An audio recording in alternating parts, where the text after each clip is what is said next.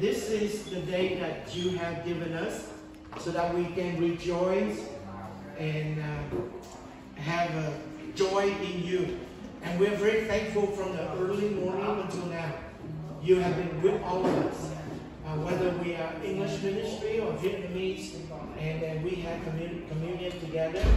And Father, we just thank you. So this is your day, and today is uh, Linh birthday, 16th birthday.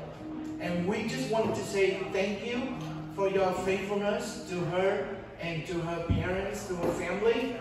You have blessed and be with her for the 16 years under the sun.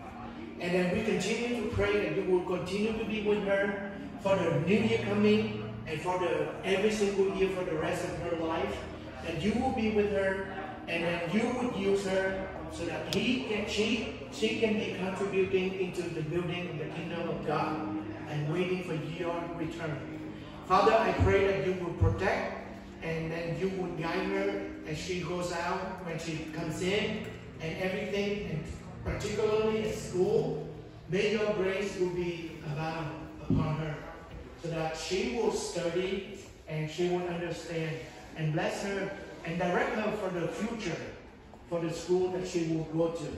And we just pray for her parents for all the hard work that they put in for the 16 years in the past.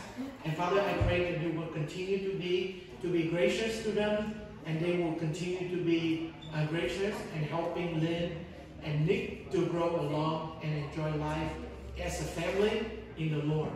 Bless her, I pray, and uh, make it, you know, become today.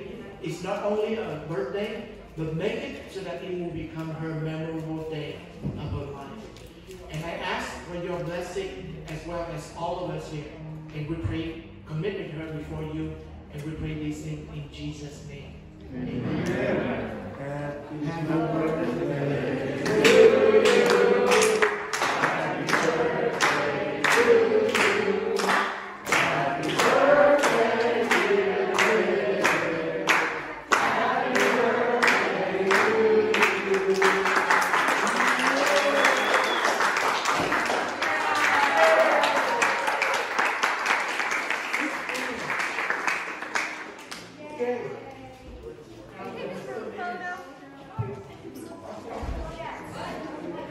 lên.